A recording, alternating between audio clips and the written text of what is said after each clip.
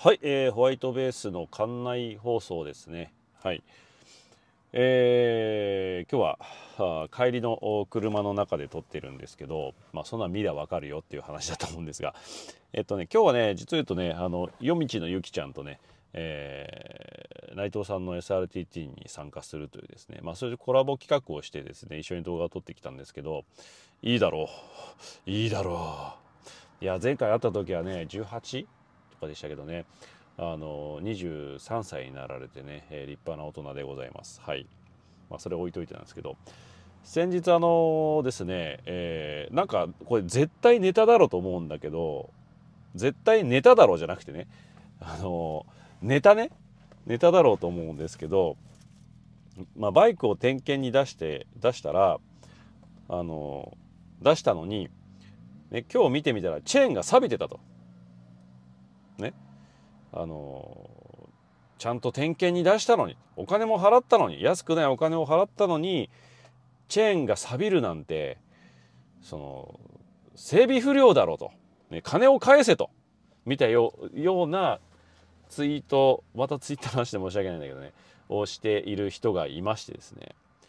で結構なんかそれがねあのいやこれはひどいと。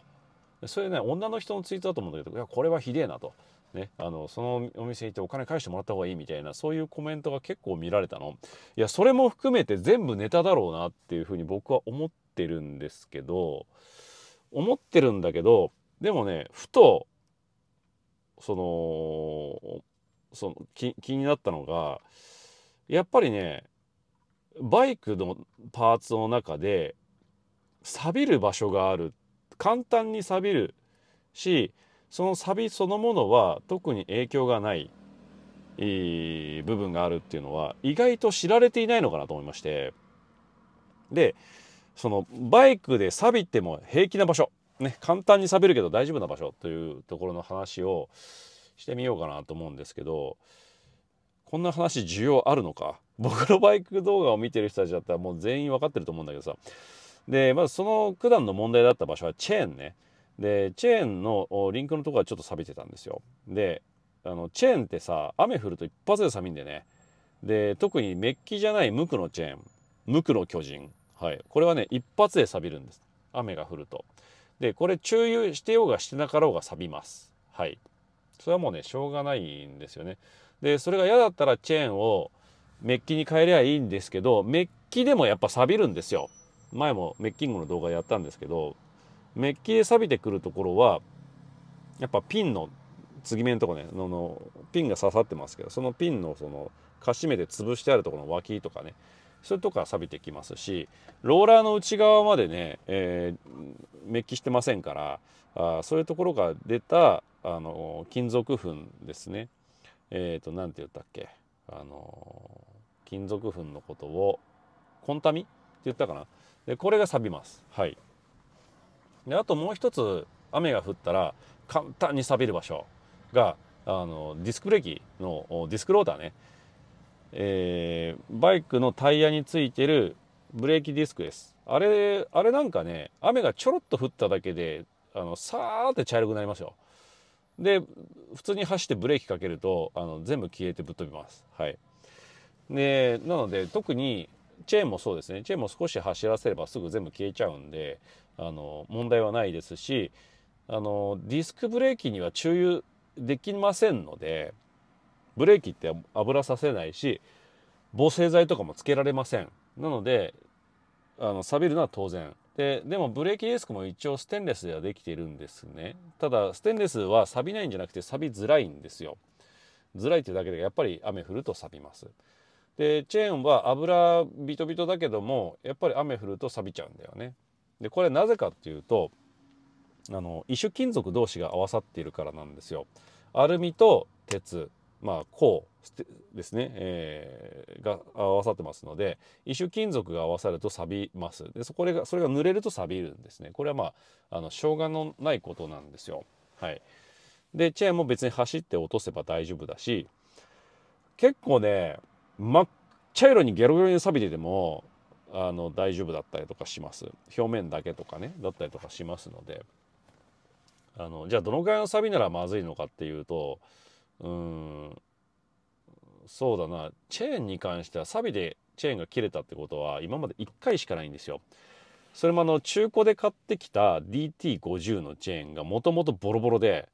で走ったらパーンって切れたっていうのなんですけどもあそこまであのお菓子の小枝ってあるじゃん。あれみたいになっちゃっててね。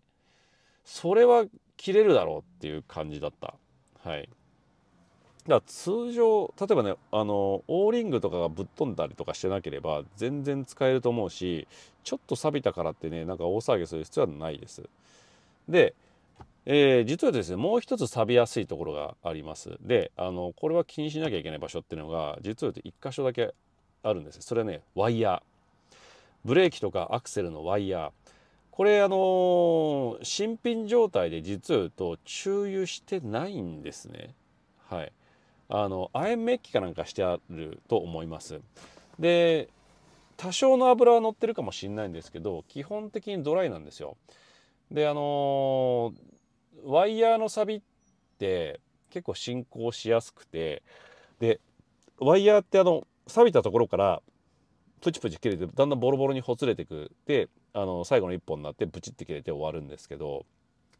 結構そのワイヤーとそのワイヤーの外側のスリーブねその間に水が入ったりとかするんですね。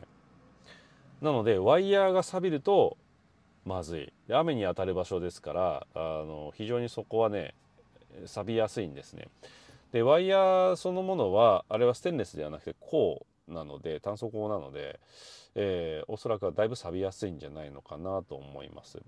ボルトの頭が錆びたとかあのなんかそういうのは特に問題ないですね。まあ、あと最近のバイク鉄フレームなんで鉄フレームの溶接のとこねあそこが錆びて溶接のところの塗装がバキッて浮いたりとかしていたらそこはちゃんと削り落として上からタッチペンかなんかで塗った方がいいです。はい。あと錆びたらまずい場所っていうとタンクの中とかかな。タンクの中に雨水が入っちゃったりとかしてタンクの中が錆びてきたとかあの例えばそのキータンクの蓋のキーキャップねそれもパコッと開けてみたらキーのキャップの内側が錆びてたとかそういうのはちょっとまずいかなと思います。はい。ね。そういうのはもう結構致命的です。はい。でもそれ以外のその外装的な部分のサビっていうのはまあほとんどは関係ないかな。で特に走ってるとねどうしても錆びちゃう場所っていうのはあるんですね。でそれが原因で固着とかするんですけどあの基本的にその錆びが原因での固着っていうのを一般の方が防ぐことはできません。はい、できないですしである程度錆びて固着しても問題ないようにバイクはできてます。はいまあ今まで固着して嫌だなえげつねえなと思ったのがスタッドボルトスタッドボルトっていうのはどういうことかどういうものかっていうとあのボルトの目ネジだけ刺さってるやつだからマフラーの出口とかバイクのですね、えエンジンのシリンダーを上から止めてるものとかこれが錆びてバキバキになると結構えぐいかなっていう感じはします。で他の部分については交換もできるしそうそう影響はないかなと思いますね。はいですであとまあこれコツなんですけど錆びさせないコツっていうのは水道水で流しておくこと、えー、錆びさせる原因って雨水です。はい。雨水。雨水っていうのは非常にこう錆びやすいものを多く含んでるんですね。でそれに対して水道水っていうのは極めて中性に近いですので水道水で雨が降った後も水道水で流しておいた方がいいです。で特にその道路にはね融雪剤とかいろんなものが落ちてましてああいったものって非常にこう錆びの原因になります。ので、えー、流しておく。まあ例えば冷却水が持っちゃったとかそういうのもきちんと流しておいてください。はい。でその後で、えーまあ、洗車なりして、えー、保護してやるっていうのがまあ重要かなと思ってます。ただまあ表面ねちょっと錆び錆びしてね茶色く粉吹いただけでまあ大騒ぎしない。失礼。はい、大騒ぎしない、ねえー、そのぐらいは大丈夫でございます。はい、でボルトやナットが錆びた時はね、あのー、まあ、磨けば大丈夫だしそれでもどうしても気になるっていう方はねあのそういう部分だけ交換できます。えー、バイクに使ってるボルトナットってホームセンターではあんま売ってないです。あれ特殊なものなので、できればバイク用品店ライコランドさんとかねそういうところに行くと売ってます。元ギア東京行くといっぱい売ってますんで、え、近くにお店がある人は行ってみてください。アルミのボルトとかねあのチタンとかいろいろありますので、まあ、チタン錆びませんからね。いいと思いますよ。はい。えー、そんなわけで皆さん、えー、楽しいバイクライフを送ってください。はい、え、今日はあ非常にこう楽しくトレーニングして結構くたくたですね。暑い中